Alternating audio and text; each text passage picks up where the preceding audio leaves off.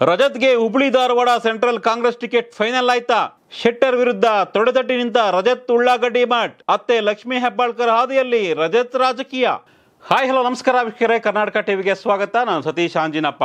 Hubli Dharwad central ವಿಧಾನಸಭಾ ಕ್ಷೇತ್ರ. ಒಂದು ರೀತಿ ಬಿಜೆಪಿಯ ಭದ್ರಕೋಟೆ ಕೂಡ ಹೌದು. ಮಾಜಿ ಸಿ ಎಂ ಮಾಜಿ ಮಂತ್ರಿ ಜಗದೀಶ್ ಶೆಟ್ಟರ್ ಅವರ ಕ್ಷೇತ್ರ.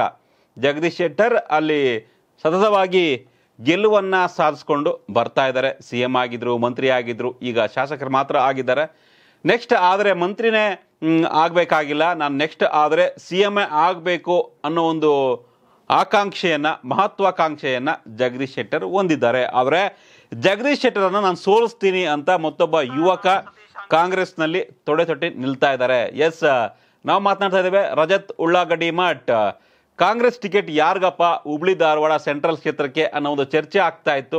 ಈಗಾಗಲೇ ರಜತ್ ಉಳ್ಳಾಗಡ್ಡಿ ಮಠ್ ಜೊತೆಗೆ ಅನಿಲ್ ಕುಮಾರ್ ಪಾಟೀಲ್ ಸೇರಿದಂತೆ ಕೆಲವೊಂದಿಷ್ಟು ಮಂದಿ ಆಕಾಂಕ್ಷಿಗಳಿದ್ದರು ಈ ಹಿಂದೆ ವೀಕ್ಷಕರ ಒಂದು ಏನು ಟೀಮ್ ಬಂದಾಗ ಹುಬ್ಳಿ ಧಾರವಾಡಕ್ಕೆ ಆಗ ಜಗಳ ಕೂಡ ಆಗಿತ್ತು. ಇದೇ ರಜತ್ ಉಳ್ಳಾಗಡ್ಡಿ ಮಠ್ ಜೊತೆಗೆ ಅನಿಲ್ ಕುಮಾರ್ ಪಾಟೀಲ್ ಅವರ ಬೆಂಬಲಿಗರು ಕಿತ್ತಾಟವನ್ನು ಗಲಾಟೆಯನ್ನು ಮಾಡಿಕೊಂಡಿದ್ರು. ಕೊನೆಗೆ ಈಗ ಹೈಕಮಾಂಡ್ ಒಂದು ನಿರ್ಧಾರಕ್ಕೆ ಬಂದಿದೆ. ಯಾರಿಗೆ ಟಿಕೆಟ್ ಕೊಡಬೇಕು? ಹುಬ್ಳಿ ಧಾರವಾಡ ವಿಧಾನಸಭಾ ಕ್ಷೇತ್ರಕ್ಕೆ ಅನ್ನೋ ಒಂದು ಲೆಕ್ಕಾಚಾರಕ್ಕೆ. ಎಸ್ ಕರ್ನಾಟಕ ಟಿವಿಗೆ ಸಿಕ್ಕ ಮಾಹಿತಿ ಪ್ರಕಾರ Hubli Dharwad central Congress ticket ಈಗ ರಜತ್ ಉಳ್ಳಾಗಡ್ಡಿ ಮಠ್ಗೆ ಕೊಡೋದಕ್ಕೆ ಬಹುತೇಕ ಫಿಕ್ಸ್ ಆಗಿದೆ. ಎಸ್ ಶೆಟ್ಟರ್ ವಿರುದ್ಧ ಯುವಕ ರಜತ್ ಈಗ ತೊಡೆ ತಟ್ಟಿ ನಿಲ್ಲೋದಕ್ಕೆ ಸವಾಲನ್ನು ಹಾಕೋದಕ್ಕೆ ರೆಡಿ ಆಗ್ತಾ ಇದ್ದಾರೆ. ಯಾರಪ್ಪ ಇದು? ರಜತ್ ಉಳ್ಳಾಗಡ್ಡಿ ಬಂತಂತ ನಿಮ್ಗೆ ಅನಿಸ್ಬೋದು. ಸೊ ಮೊದಲನೇ ಬಾರಿಗೆ ಏನು ಚುನಾವಣೆಯನ್ನು ಫೇಸ್ ಮಾಡ್ತಿಲ್ಲ. ಈಗಾಗಲೇ ಅವರು ಜಿಲ್ಲಾ ಪಂಚಾಯತ್ನಲ್ಲಿ ಕೂಡ ಚುನಾವಣಾ ಕಣಕ್ಕೆ ಇಳಿದು ಗೆದ್ದಿದ್ದಾರೆ. ಎಸ್, ರಜತ್ ಉಳ್ಳಾಗಡ್ಡಿ ಮಠ್ಗೆ ಸಾಕಷ್ಟು ಆತ್ಮವಿಶ್ವಾಸದಿಂದ ಇದ್ದಾರೆ. ಒಂದು ಕಡೆ ಅತ್ತೆ ಲಕ್ಷ್ಮೀ ಹೆಬ್ಬಾಳ್ಕರ್ ರಾಜಕಾರಣದಲ್ಲಿ ಸಾಕಷ್ಟು ಒಂದು ರೀತಿ ಗೆಲುವನ್ನು ಸಾಧಿಸಿ ಈಗ ಪ್ರಮುಖ ಕಾಂಗ್ರೆಸ್ ನಾಯಕಿಯಾಗಿ ಗುರ್ಸ್ಕೊಂಡಿದ್ದಾರೆ. ಅದು ಕೂಡ ಇವರಿಗೆ ಒಂದು ಪ್ಲಸ್ ಪಾಯಿಂಟು ಜೊತೆಗೆ ಅವರ ರಾಜಕೀಯ ಪಟ್ಟುಗಳನ್ನು ಇವರು ಕಲಿತಿದ್ದಾರೆ. ಸೊ ಅತ್ತೆ ಕಡೆಯಿಂದ ಕಲ್ತಿರೋದು ಒಂದು ಕಡೆ ಆದರೆ ಸ್ಥಳೀಯ ರಾಜಕಾರಣದಲ್ಲಿ ರಜತ್ ಉಳ್ಳಾಗಡ್ಡಿ ಮಠ್ ಸಾಕಷ್ಟು ಹೆಸರನ್ನ ಮಾಡಿ ಅಲ್ಲಿ ಲೋಕಲ್ನಲ್ಲಿ ಕಾಂಗ್ರೆಸ್ ಸ್ಟ್ರಾಂಗ್ ಲೀಡರ್ ಆಗಿ ಹೊರಹೊಮ್ತಾ ಇದ್ದಾರೆ. ಜಗದೀಶ್ ಶೆಟ್ಟರ್ ವಿರುದ್ಧ ಒಬ್ಬ ಯುವಕ ತೊಡೆ ತೊಟ್ಟೆ ನಿಲ್ತಾ ಇರೋದು ಸಾಮಾನ್ಯ ಏನಲ್ಲ ಸೊ ನಾನು ಗೆದ್ದೇ ಗೆಲ್ತೀನಿ. ನನಗೆ ಟಿಕೆಟ್ ಕೊಡಿ ಸಾಕು ಅನ್ನೋ ಒಂದು ಆತ್ಮವಿಶ್ವಾಸದಲ್ಲಿ ಇದ್ದಾರೆ ರಜತ್ ಉಳ್ಳಾಗಡ್ಡಿ ಮಠ್. ಒಂದು ಕಡೆ ಅತ್ತೆ ಕೂಡ ಇವ್ರಿಗೆ ಸಪೋರ್ಟ್ ಮಾಡ್ತಾ ಇದ್ದಾರೆ. ಲಕ್ಷ್ಮೀ ಹೆಬ್ಬಾಳ್ಕರ್, ಕೊಡಿ ರಜತ್ ಉಳ್ಳಾಗಡ್ಡಿ ಮಟ್ಟಿಗೆ ಗೆಲ್ಲಿಸುವಂಥ ಜವಾಬ್ದಾರಿ ನಂದು ಕೂಡ ಇದೆ ಅನ್ನೋ ಒಂದು ಮಾತನ್ನು ಹೈಕಮಾಂಡ್ಗೆ ಹೇಳಿದಂತೆ ಕಾಣಿಸ್ತಾ ಇದೆ. ಡಿ ಕೆ ಶಿವಕುಮಾರ್ ಈ ಹಾದಿಯಲ್ಲಿ ಕೆಲವೊಂದಿಷ್ಟು ಯುವಕರಿಗೆ, ಕೆಲವೊಂದಿಷ್ಟು ಕ್ಷೇತ್ರದಲ್ಲಿ ಯುವಕರಿಗೆ ಟಿಕೆಟ್ ಕೊಡಬೇಕು ಅನ್ನೋ ಲೆಕ್ಕಾಚಾರವಾಗಿ ಇದೆ.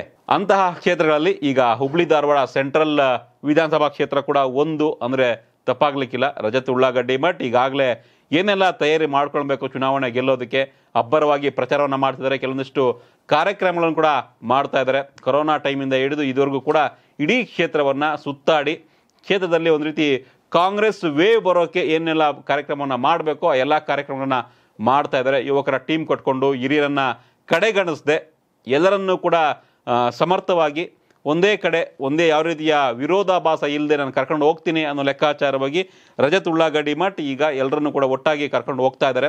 ಏನು ಅನಿಲ್ ಕುಮಾರ್ ಪಾಟೀಲ್ ಬೆಂಬಲಿಗರ ಜೊತೆ ಇವರ ಬೆಂಬಲಿಗರ ಕ್ಲಾಶ್ ಆಗಿತ್ತು. ಎಲ್ಲವನ್ನು ಕೂಡ ಸರಿದಿಗಿಸ್ಕೊಂಡು ಈಗ ಎಲ್ಲವನ್ನು ಕೂಡ ಏನು ಪ್ರಾಬ್ಲಮ್ ಸಾಲ್ವ್ ಮಾಡ್ಕೊಂಡಿದ್ದಾರೆ. ಹೀಗಾಗಿ ರಜತ್ ಉಳ್ಳಾಗಡ್ಡಿ ಮಟ್ಟಿಗೆ ಹುಬ್ಳಿ ಸೆಂಟ್ರಲ್ ಹುಬ್ಳಿ ಧಾರವಾಡ ಸೆಂಟ್ರಲ್ ಏನು ಕಾಂಗ್ರೆಸ್ ಟಿಕೆಟ್ ಬಹುತೇಕ ಪಕ್ಕ ಅನ್ನೋ ಒಂದು ಮಾಹಿತಿ ಬರ್ತಾ ಇದೆ. ನೋಡೋಣ.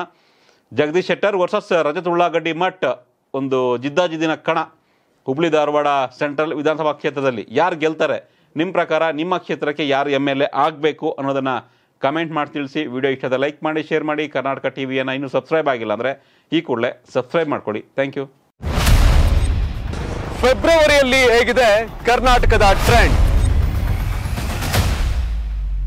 ಈಗ ಚುನಾವಣೆ ನಡೆದ್ರೆ ಬಿಜೆಪಿಗೆ ಎಷ್ಟು ಸೀಟು? ರಾಜ್ಯದಲ್ಲಿ ಕಾಂಗ್ರೆಸ್ ಮತ್ತೆ ಅಧಿಕಾರಕ್ಕೆ ಬರುತ್ತಾ? ಕುಮಾರಸ್ವಾಮಿ ಕಿಂಗ್ ಆಗ್ತಾರ, ಕಿಂಗ್ ಮೇಕರ್ ಆಗ್ತಾರ? ಆಮ್ ಆದ್ಮಿ ಪಾರ್ಟಿ, ರೆಡ್ಡಿ ಪಾರ್ಟಿಯಿಂದ ಯಾರಿಗೆ ಡ್ಯಾಮೇಜ್?